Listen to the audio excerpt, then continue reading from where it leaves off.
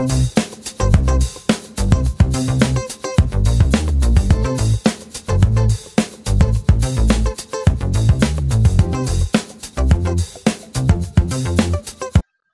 ну я думаю, все здесь, кто хотел подключиться. Давайте начинать. У нас в гостях э, вратарь ну, молодежной сборной России Ярослав Аскаров. Э, Ярослав, ну скажи пару своих таких впечатлений того, как прошел турнир. Пусть он сложился, сложился не совсем удачным образом, да, без медали остались, тем не менее. В первую очередь хороший опыт колоссальный опыт команда получила. Э, много чего не получилось. Но это жизнь, так бывает. Спорт, хоккей. В принципе, все, что можно сказать. Ярослав, э, Павел Усенков, Матч ТВ. Получилось так, что перед самым началом турнира вот Хабибулин покинул э, пузырь, то есть ты, получается, вынужден занимался дистанционно, да, с Давыдовым. Как это отразилось на твоей подготовке, как вообще у вас угу. дистанционная вот эта работа да. шла? Э, работа шла хорошо, как бы тренировочный процесс, э, все равно мы на сборах. Основная, основной фундамент был заложен на сборе в Новогорске.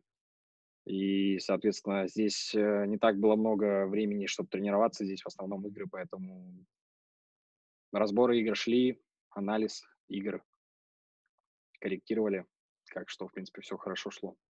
А насколько был важен факт, что, что живой человек стоит рядом, там психологически настраивает, или с Хабибулиным такого не было у вас?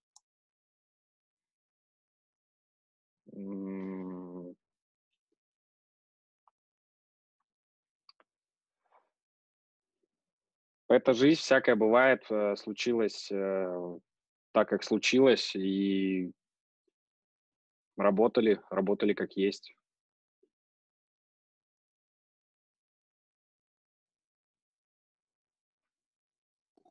Да, Ярослав э, Панушев Павел, чемпионат.ком. Только что Василий Подколзин на пресс-конференции сказал, что э, подставили Ларионова и тебя, игроки, вот в частности он своей игрой как бы ты прокомментировал эти слова и согласен ли ты, что где-то полевые игроки, может быть, могли получше сыграть, чтобы и тебе полегче было? Э, на личности переходить не буду. Команда выигрывает все вместе, команда проигрывает все вместе. Поэтому у меня только такой комментарий будет. Кого-то выделять не буду. Все вместе выигрывали, все вместе проигрывали. Если сейчас... Э, главный вопрос, а, почему все-таки клюшка-то выпадала у тебя постоянно 15 раз? Э, что, это, это какая-то проблема системная или просто, ну, не нравится тебе клюшка? Спасибо. Дорогие друзья, у меня есть для вас интересное предложение. Вы все знаете, что хоккей – это серьезная игра, и поэтому вам предлагают серьезную ленту. Мастерство – ключ к созданию лучшего продукта, а хоккейная лента «Компостик» производится крутыми профессионалами с большим опытом работы. Компостик предлагает вам полный выбор лент, специально предназначенных для хоккея, включая ленту для клюшки, ленту для щитков и грипп-ленту. В Компостик понимают хоккей и знают, что нужно профессиональным хоккеистам. Там следят за игрой, там следят за хоккеем. Этим великолепным хоккейным лентам доверяют 28 клубов НХЛ, подавляющее большинство клубов Северной Америки, множество клубов со всего мира и многие клубы КХЛ уже перешли на эти хоккейные ленты. И ты присоединяйся к этому движению. Мотай на ус, мотай на крюк компостик. С полевой лучше, полевая легче. Не сильно понравилась клюшка, я его выбрасывал. Она не твоего этого, ну, леворукая все-таки почему действительно оно выпадало там? Может быть, э, не те перчатки у тебя? Может быть, может быть. Со стороны виднее, Леш.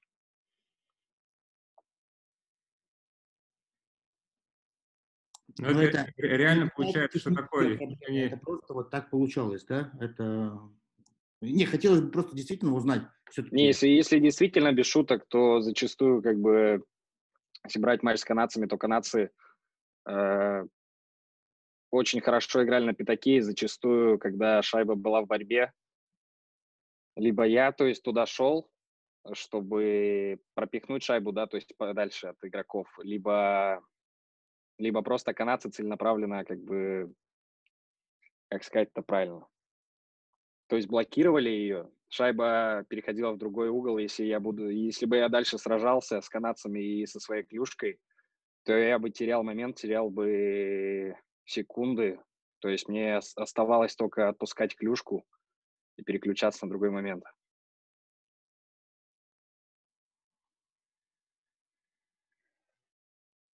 Ярослав, если продолжать эту тему, а, ты считаешь, что вот из-за, опять же, потерь клюшки какие-то голы сборная России пропустила, потому что там ребята, ребята тебе передавали клюшку, там в случае там с Канадой, там Хусундинов, по-моему, тебе передавал. То есть вообще как вы переговаривались? То есть это их инициатива, что они тебе свою давали, или ты просил? То есть вот как сам оценишь?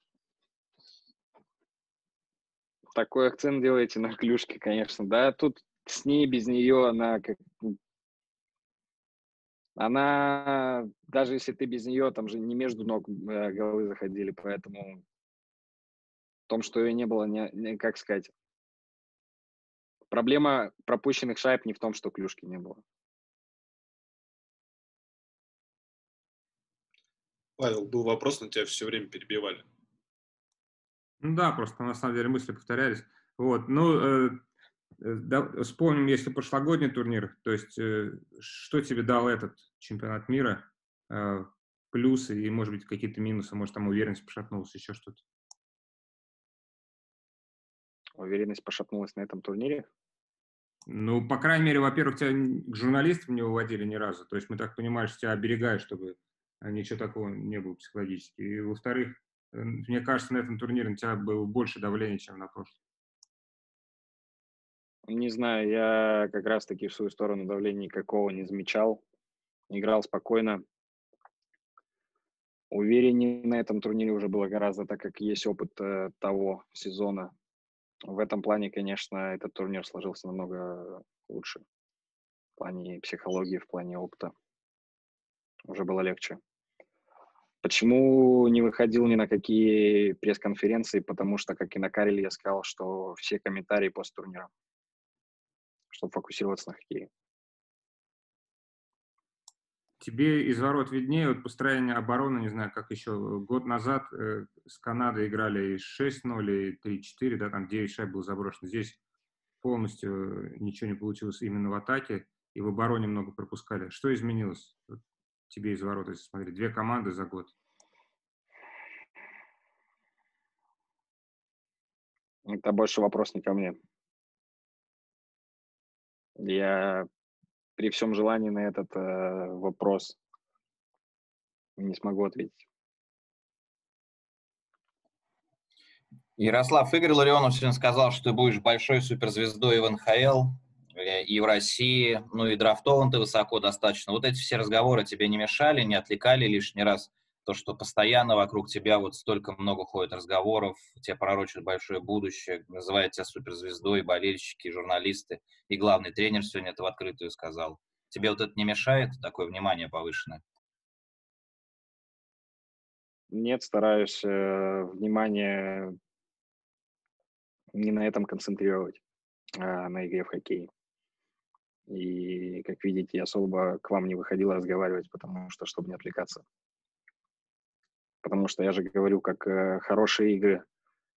Все тебя хвалят, а если команда проигрывает, то, соответственно, наоборот. Поэтому в течение турнира никаких комментариев не давал. Ярослав, вот многие сейчас говорят про то, что Кубок Карела где-то немножко ввел в заблуждение, что э, немножко так, может быть, голову скружил этот результат.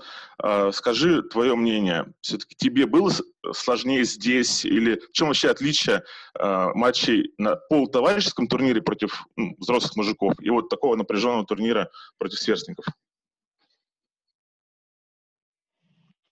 Головокружений никаких не было все понимали, тут никого настраивать не надо было на этот турнир. Все понимают то, что сюда приезжают лучшие игроки со всего, со всех стран. И Еще раз повторите вопрос, пожалуйста, чтобы до конца ответить на него. Да, я хотел спросить, э, насколько тебе, ну, вратарю, да, про всю команду, понятно, ты не можешь сказать, э, сложнее было здесь играть. В чем отличие между, может быть, по темпу, по э, напряженности? То есть в чем отличие между Карело было и МЧМом?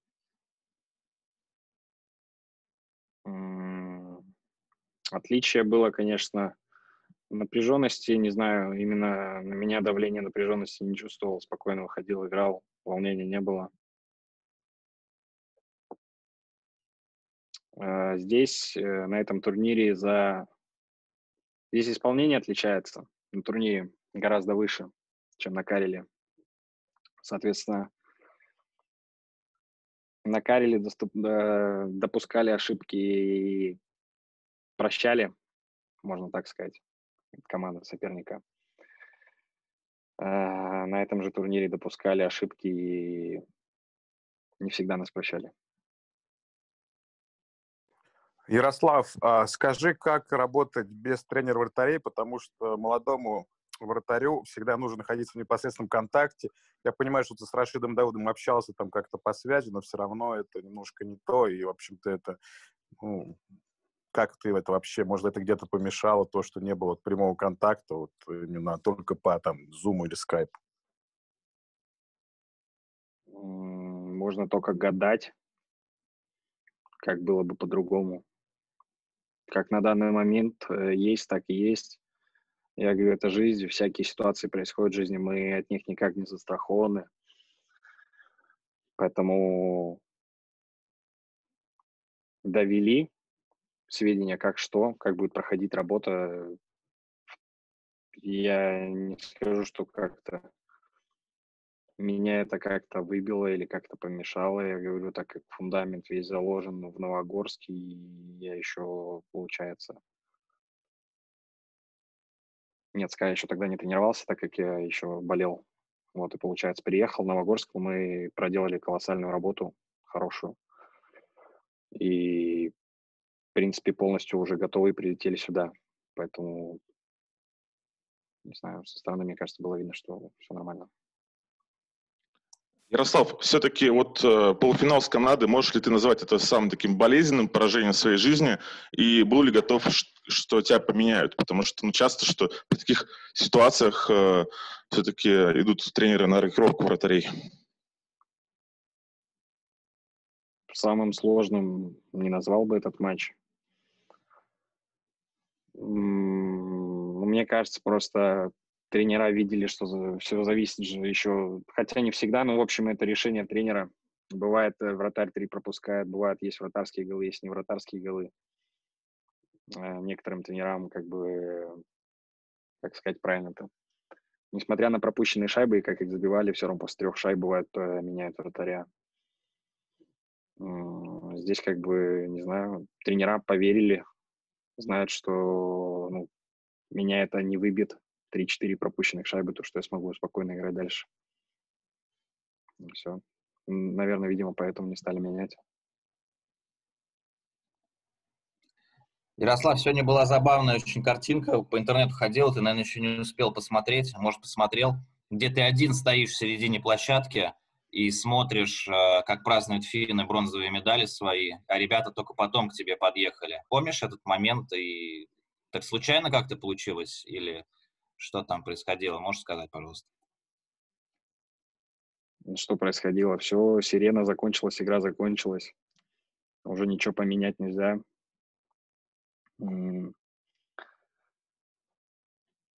Слезы, не слезы после матча, как бы ты уже слезами счет на табло не поменяешь никак и расстройствами. То есть есть, есть 60 э, минут игры, которые нужно которые нужно вкладываться. После сирены уже ну, кулаками не машут, и все, я встал спокойно на синюю линию, все. Не стал куда-то ехать на лавку или, не знаю, сидеть на коленке у ворот. Все, приехал на синюю линию, встал. Ждал команду.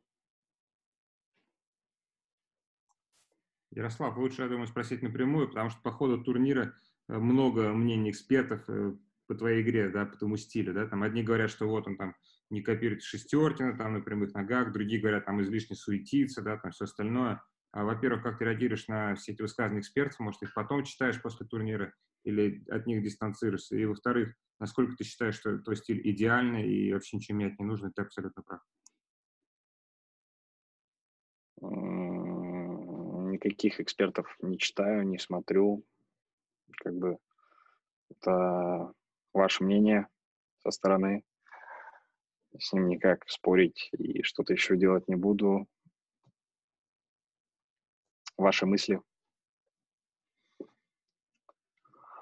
А, по поводу идеальный, не идеальный, я думаю, нет идеальных. И работать, работать, работать. Много над чем можно еще работать. У меня есть вратарский тренер Скараши Давыдов, с которым мы работаем и улучшаем все компоненты, компонент, компоненты игры. Вопрос на продолжение, кстати, вот э, в этот э, момент своей карьеры не считаешь ли, что ты э, недостаточно много сыграл матчей в КХЛ, чтобы тебе позволило больше заматереть и набраться мастерства? То есть, опять же, это не от тебя зависит, но мы смотрим со стороны, хотелось бы, чтобы ты играл больше-больше. В том году вообще один матч был у меня в КХЛ проведен, когда я поехал на турнир. Об этом и речь, да. Не поверите, мне тоже хочется играть больше, но это понятно. Чем больше играешь э, на высоком уровне, тем легче. Ну, как бы. Я, в принципе, и дают, играю. Сколько дают, столько играю. По разным же причинам получилось только матчи. Сначала заболел одним, потом другим. Всякое бывает, это жизнь. Сколько получилось, только сыграл. Не скажу, что как-то помешало. В принципе, приехал в хорошей форме.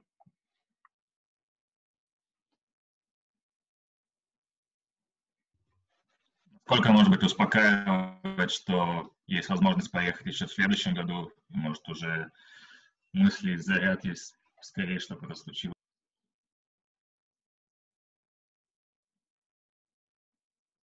Алло, алло, алло, алло. Связь пропала, не до конца было слышно. Но Семен пропал. Суть в том, что у тебя еще один чемпионат мира есть в запасе. Вот, Насколько это для тебя перспектива? Ну, конечно, хорошо то, что есть еще, еще один чемпионат мира. За это время еще больше подготовиться, да, еще больше набраться опыта и приехать более опытным на этот турнир.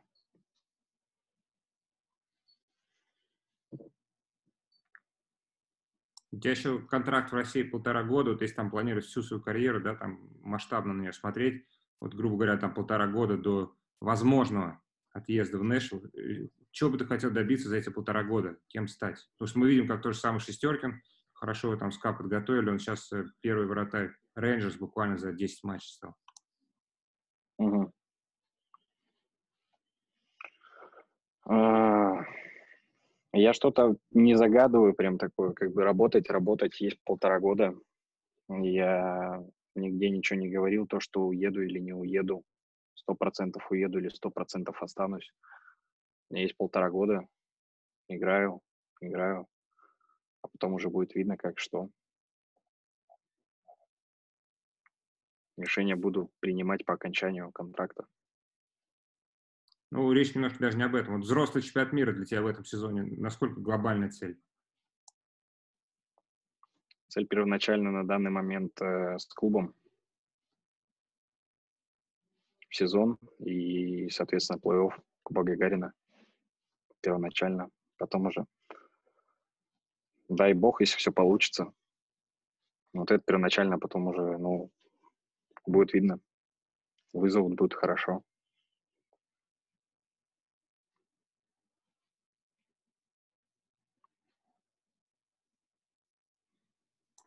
Ну, вопрос, наверное, кончится. Есть, есть еще?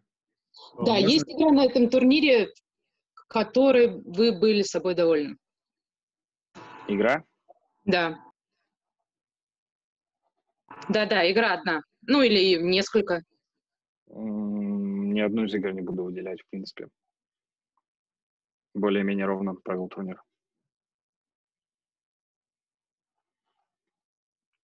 Можно рассчитывать, что ты будешь терять клюшку в чемпионате КХЛ? Спасибо.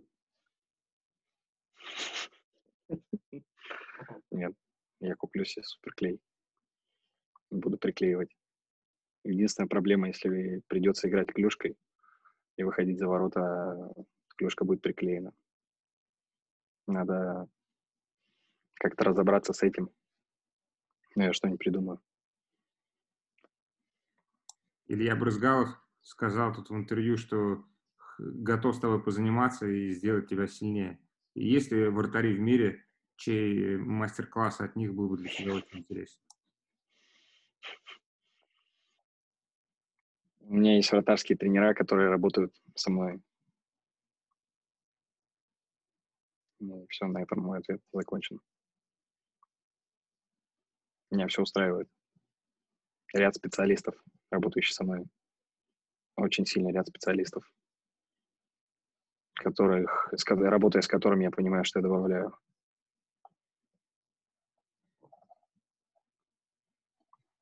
Ярослав, как у вас были отношения с Ахтямовым, со Скотниковым, когда все знали и открыто говорили, что ты там номер один и будешь играть 99% времени получать, а они такой роль второго, третьего голкипера изначально были. Как у вас внутри были отношения в коллективе с ним? Как вы общались? Поддерживали они тебя?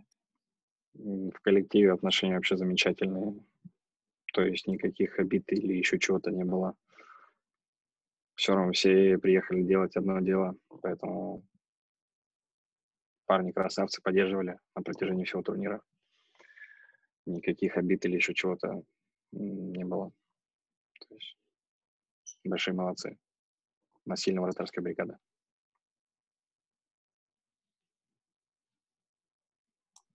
Еще такой вопрос. Вот, э, про подготовку к турниру сборную Огорске, если можно еще раз, э, насколько он был максимально полезен и повлиял ли пузырь, потому что это был очень необычный чемпионат мира, никогда не были в таких ситуациях. Ну, в принципе, была подготовка в Новогорске. Уже условия были точно такие же. Поэтому, ну, плюс-минус. Приближенные максимально старались. И необычный опыт, да, такой. То есть такого никогда не было. Что-то новенькое. Все равно все, несмотря то, что все уже были готовы к этому, но это непривычно, и все равно все устали от этого пузыря все команды. Психологическая усталость, да? Даже не знаю, как сказать. Уже, уже просто уже все, все хотят домой. Условия, тем не менее, условия здесь хорошие. Я не скажу, что условия какие-то плохие. То есть все, в принципе, на очень, очень таком солидном уровне. Но все же, все же в пузыре, пузыре, не, пузыре нелегко.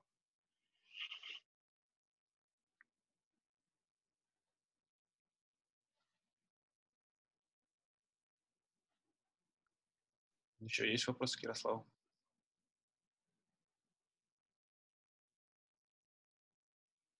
Ярослав, спасибо тебе за общение и тебе удачи. Вам спасибо. Спасибо, Ярослав.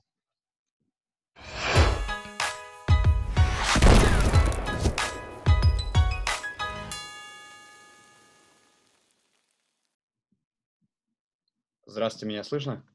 Да, да, все хорошо. Ну, расскажи вообще про турнир, про то, как складывалось. Давай начнем с самого начала, наверное, про подготовку, про условия, в которых готовились, потом про переезд в Эдмонтон. Так, небольшой сделаем общий обзор этого всего. Да, конечно, у нас, честно, мы приехали заранее, даже вот меня с Мишкой Абрамовым, вот там э, Янечка Кузнецова, Фирста привезли заранее, чтобы мы немного акклиматизировались в России, немножко подпривыкли к тому времени, как там было, честно. Мы приехали не сразу к сбору, а нас за два дня привезли. Потом у нас во время сбора у нас были хорошие условия. Мы чувствовали себя, честно, как дома. Мы жили первое время по одному, потом жили по двое. И когда ты живешь по двое, чуть лучше чувствуется атмосфера, потому что, знаете, как плечо своего друга приятнее. Еще на сборах у нас были хорошие условия, у нас все было, чтобы двигаться вперед. Там, одежда была у нас, полностью одевали, всю форму выдали. Я считаю, что у нас до, до даже приезда в Эдмонтон у нас были отличные условия, питание было выстроено очень правильно для того, чтобы двигаться вперед и набирать свою лучшую форму. По турниру теперь небольшой такой рекап. Да, я думаю, что говорить уже все, в принципе, видно.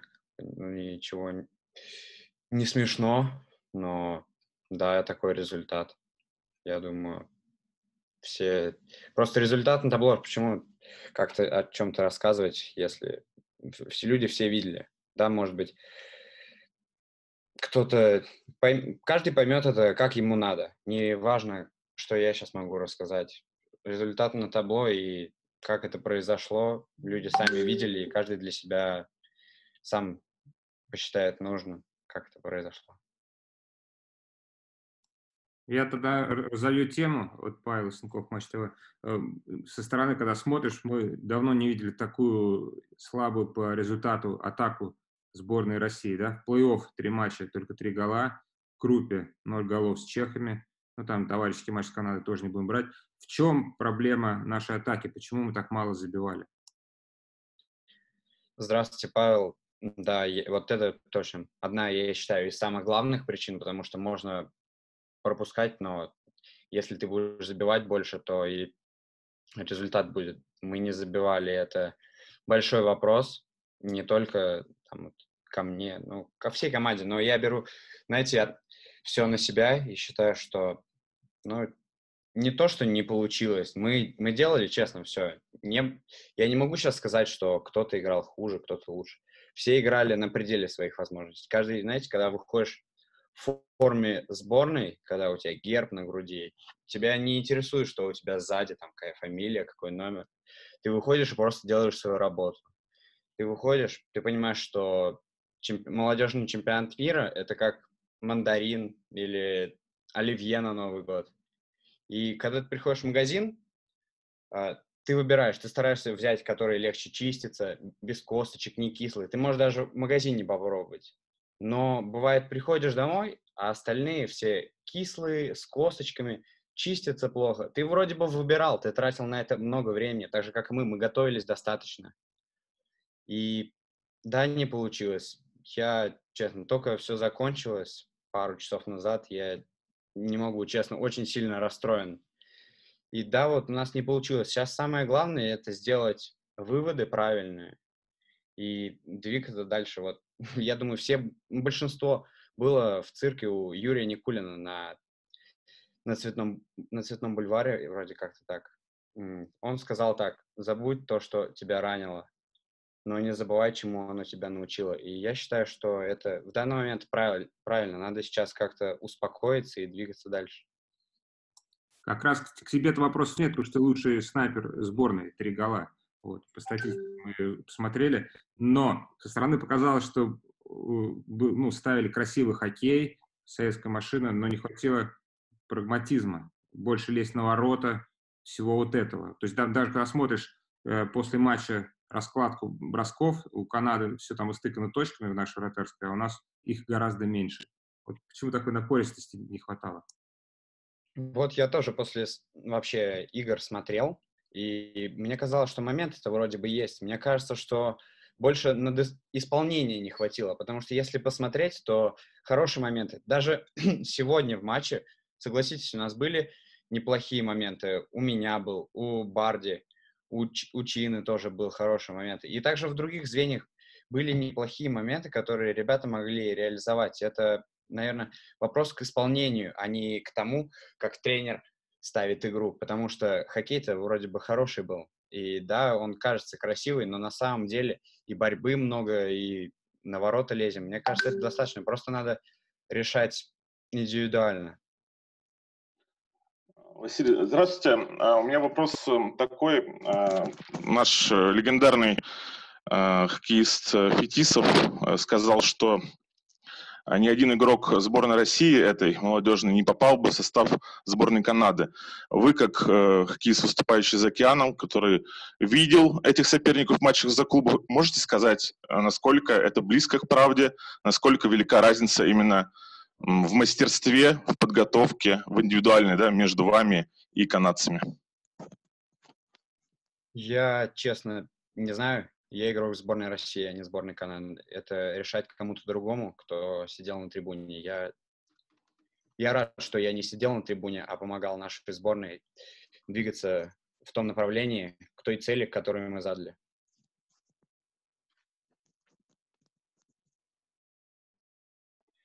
Василий, Василий, здравствуйте. Да, говорите, извините. Да, Василий, такой вопрос. Показалось, что даже сегодня с финнами, что не очень вам хватало физической готовности. Первые 10 минут так бегали хорошо, забросили, а потом начали подсаживаться, подсаживаться. И вот усталость какая-то накопилась у вас, да, или что? Показалось, что какие-то проблемы с физикой у вас были. Не, я имею в виду не лично у тебя, а вообще у команды у всей. Я и по себе, и по всем, как бы с ребятами тоже веду диалог не только после игры, но в течение игры мы все вместе разговариваем, там тренерский штаб спрашивает, кто как, если что, кто-то может пропустить сменку, у нас всегда есть 13 нападающий, который может подменить по поводу физической формы, мне кажется, не должно быть и вопроса, потому что сейчас все игроки, это середина сезона, когда игроки уже, можно сказать, на пике своей идеальной формы. Я знаю, что ребята, большинство играют в КХЛ, и у них сейчас будет начинаться плей-офф, они 100% в своей идеальной форме, чтобы показывать лучший хоккей. И я не вижу сомнений, чтобы задаваться вопросом, что кто-то был не в лучшей своей форме. Василий, здравствуйте. Артем Соловьев. Хотел спросить такой вопрос. Я в течение вот всего турнира смотрю два канала. Первый канал и TSN на английском. И сегодня очень жестко Рей Феррару на TSN скажем так, нехорошо сказал о хоккее а, системы в России. Сказали то, что много регионов, ну, понятно, большая страна. На той стороне одно делают, в середине России другое учат, в Москве, в Питере другое учат. Нет одного. А, и с чего, вы думаете, надо начинать, чтобы вот дети, которые росли в одной системе, не знаю, потом к вашему возрасту могли играть вместе, да, и находить игру, потому что сейчас смотреть на игру канадцев, американцев, а, у, у них все кликается даже, у них было меньше времени играть вместе, чем у вас, да, то же самое у канадцев. И второй вопрос, что вы взяли для себя от этого турнира, от этого опыта? Спасибо. Вот смотрите, вы задали вопрос, что надо... Э, сейчас я соберусь с мыслями, что надо... Почему какие-то TSN говорят, что у нас разная система? Они не были в России. Как они могут сейчас говорить, что у нас разная система? Также я могу говорить, что я где-то слышал, что э, у них отличается хоккей в лигах WHL, QMJHL и OHL. Это просто разговоры, которые кто-то, может быть, кому-то сказал. Это я уверен, что это неправда, потому что сейчас в России все, мне кажется, работают по одной системе. Р- красная машина, и все двигаются в правильном направлении.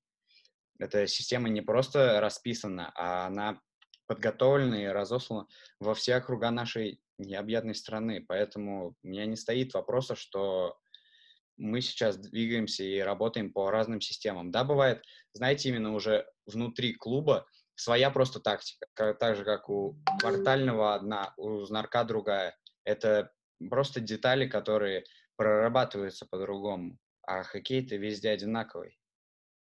И зачем еще делать какую-то одну систему, если можно за счет разных получить пр- просто один результат. Я, нам по факту на выходе нужен какой-то определенный результат. А как тренер его будет доносить? Там, делая одни упражнения или другие, это уже ну, его дело. Зачем ставить какие-то рамки, если тренер может за счет э, своих упражнений показывать тот же результат. Просто приходить к одному единому. Знаете, как в конце каждого уровня ты в любом случае проходишь какой-то финальный уровень, и на нем остаешься. И следующий ты должен делать примерно тоже такой же, чтобы просто остаться на нем, вот на той же ступеньке. Ты не делаешь промежуточную, ты просто приходишь к одному единому. А второй вопрос можете повторить? А что я для себя, да, с этого Да, турнира? да, что вы для себя взяли от этого турнира. Спасибо. Второй, э, так, что я взял для себя? Я считаю, что как команда мы, я считаю, что хорошо сыграли. У нас не было такого, что, знаете, бывает на лавочке какая-то такая грязь, когда вот там кто-то что-то не так сделал, и начинается там один начинает другого загонять. Нет, у нас все было едино, мы друг друга поддерживали. Знаете, даже вот когда было 0-4, 0-5 с Канадой, мы все равно, честно, мы сидели на лавочке, мы были уверены, у нас горели глаза, чтобы выходить и забивать. Не было такого, что вот, все, там, опустили голову. Нет, мы знали, что мы не только за себя играем, а за зрителей, болельщиков, которые возле экранов э, ночью смотрят наши матчи. Это, честно, дорого стоит представлять нашу страну. И я не могу, никто не может себя покорить в том, что кто-то что-то не сделал для результата команды. Все выложились на все сто. Сегодня в третьем периоде попал в трансляцию момент, когда на лавочке говорил, что давайте не умираем на лавочке, сейчас пойдем забьем. А насколько, может быть, чувствовал, что не хватает какой-то жизни на лавке? Или это такие были слова, просто которые надо было Да. сказать? Да, мне кажется, так каждый просто говорит, наверное, в тот момент камера, может, или звук был именно, когда я говорил. А так у нас каждый друг друга поддерживает, что нету времени как-то проседать, опускать голову, потому что это турнир, и мы должны двигаться постоянно только вперед. Василий, хотел спросить про Подколзина. У тебя понятно, что капитан он, да, и заряжает эмоциями раздевалку и команду, но иногда вот так смотрелось как-то, э, немножко удивлял момент, когда Василий там чуть ли не как главный тренер уже э, собирал вокруг себя всех игроков, командовал, кричал, а Игорь Николаевич, показалось, где-то уже в стороне находился. Вот лично для тебя вообще и команда, как к этому относилась, к такому проявлению его лидерских качеств, тебе не кажется, что это уже немножко где-то переходило, может быть, какие-то границы? Или ты считаешь, что это нормально было? Нет, я полностью так не считаю, потому что когда я с орбитой 2000 года ездил на финал России, мы проигрывали, если не ошибаюсь, там 4-7, потому что я, по моему мнению, было необъективное судейство, но, знаете, я перед матчем всех, ну, не перед матчем, уже между вторым и третьим собрал всех, и просто ты начинаешь говорить просто за что мы играем, потому что это, я не считаю, что это неправильно, потому что Вася сделал все намного правильнее, чем я думал, он собрал нас, объяснил, может, где-то чуть больше замотивировал, хотя у всех мотивации было достаточно. И для меня это никак не удивительно, что один человек, там, капитан команды, не тренер, собирает и дает какие-то наставления, потому что вы не замечаете, сколько Игорь Николаевич нам помогает, поддерживает в раздевалке, также на лавочке. Просто нету такого вот, когда все собираются. Игорь Николаевич индивидуально к каждому подходит, там что-нибудь на ухо шепнет, шепнет, тихонечко рукой по спине постучит, и ты получаешь такой заряд энергии, который ты никак бы не мог получить при любых там энергетиках там или еще чем-то. Ты понимаешь, что он в тебя верит. Он верит не, не только в тебя, а во всю команду. Поэтому Василий Подколзин сделал все правильно. Василий, у вас же еще один молодежный чемпионат мира впереди, да? Вы расстроитесь, если Ларионов сейчас уйдет в отставку? Я по поводу Игоря Николаевича вообще много хочу сказать. Я, я знаю, что сейчас очень много. Я сам вижу, что очень много негатива идет в его сторону, честно. Проиграл, ребят, не он. Проиграли мы. Мы проиграли. Не надо сейчас на него давить. Вот это я единственное, что хочу попросить, потому что это человек-легенда. Мы проиграли матч. Не надо сейчас давить на него. На него и так падает очень много. Мы виноваты. Все. Там про нас можете что хотите писать, там не доработали, не донастроились. Все, без разницы. Все, это, это уже прошло. Но на нас можете, на него не надо. Он честно. Когда ты выходишь за него играть, тебе не нужна никакая мотивация. И по поводу того, уйдет ли он в отставку, я не знаю. Я хотел бы, чтобы он дальше продолжил работать, потому что мне не только находиться в его обществе приятно, и я имею гордость, что представляю его, а еще он учит тебя такими советами, которые ты нигде не получишь. Поэтому я, честно, сам расстроюсь, если он, он идет в отставку или его уберут. Но поверьте, я за этого человека, да и каждый в этой команде готов все поставить, чтобы этот человек был с вами вообще всю жизнь.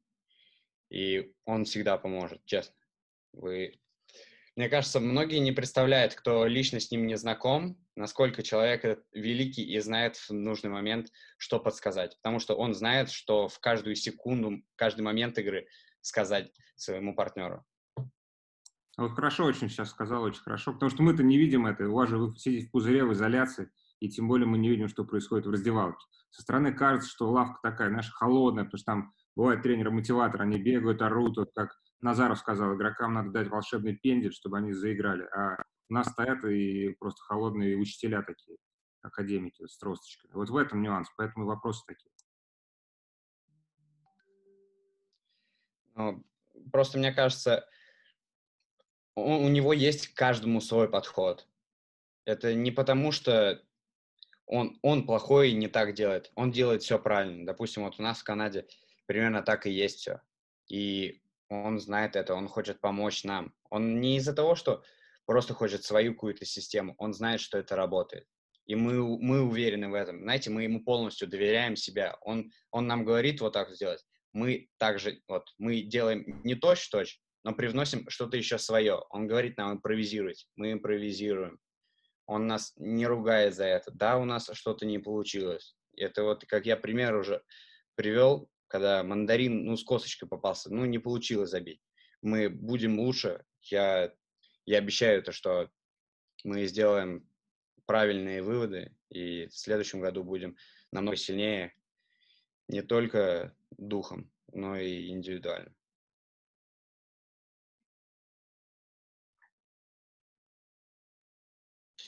Есть ли еще к Василию вопросы? У меня два коротких вопроса. Во-первых, твои планы сейчас ближайшие, то есть там ты едешь там в тренировочный лагерь, там, может, тебя привлекают в Каролину, еще что-то, где ты будешь играть дальше в этом сезоне? Сейчас у меня завтра самолет к себе, в свою команду, в Шевиниган. У меня просто пока нет еще американской визы. Я в ближайшие дни, надеюсь, там, в ближайшую неделю сделаю, сделаю ее. И смотря как у нас обстановка будет в нашей лиге, если ничего лучше не станет, то я поеду в Каролину к себе. Ну, туда. И второй вопрос, э, прям несколько дней у меня в голове сидит, там уже, уже, наверное, больше не у кого спросить. Но так, для истории, какие мотивационные фильмы вы смотрели перед матчем с Канадой и Финляндией? Потому что мы начали спрашивать там с начала турнира, да, там, Спёрс, там, вот это еще что-то. Очень интересно. Вот мы посмотрели только один фильм, если не ошибаюсь, «Время первого», про про наших космонавтов, которые полетели не в 67 году, как, они, как был запланирован полет, а в 65-м. И потом больше ничего не было? Нет, больше ничего не было. Каждый готовился индивидуально, как он подготавливается к каждой игре. Потому что я считаю, это самое главное. Каждый у нас люди сборные приезжают не то, что там сейчас придут все кино, посмотрят и подготовятся. У каждого своя рутина, которую он делает, он верит, что она помогает это, и это помогает самое главное ему.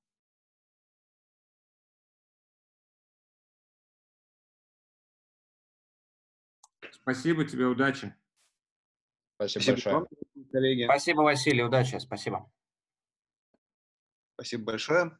Увидимся уже в Москве.